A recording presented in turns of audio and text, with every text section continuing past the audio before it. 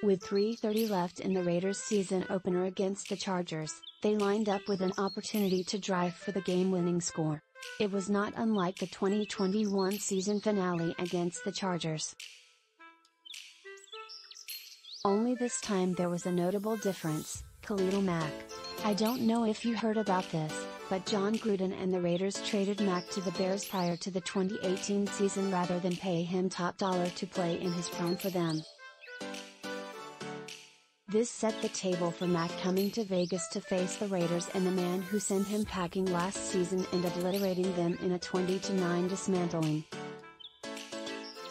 It was Gruden's offensive emails that cost him his job, but it was Mack who ushered him out in a script right out of Hollywood. Continuing the script, Mack was traded to Hollywood to suit up for the rival Chargers and his first game, he would get another shot at his former team. The same result followed. Mack would put up three sacks in his Chargers debut.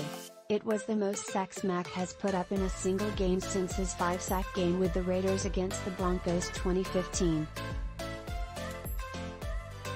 The first sack, Mack put the bull rush on right tackle Jermaine Eluemunor, driving him into Derek Carr's lap.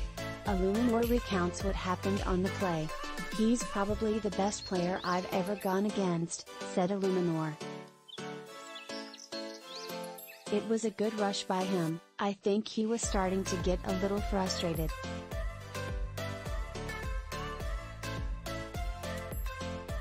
It's one of those things you can look back at and be like dang, if I'd put this hand right here then I would have stopped him again. But it was a good battle between us. That sack occurred in the second quarter. The next sack came on the next Raiders possession. After the Raiders defense stopped the Chargers on fourth down for a turnover on downs, Carr held on to the ball too long and Mack kept up the pressure to eventually get the sack.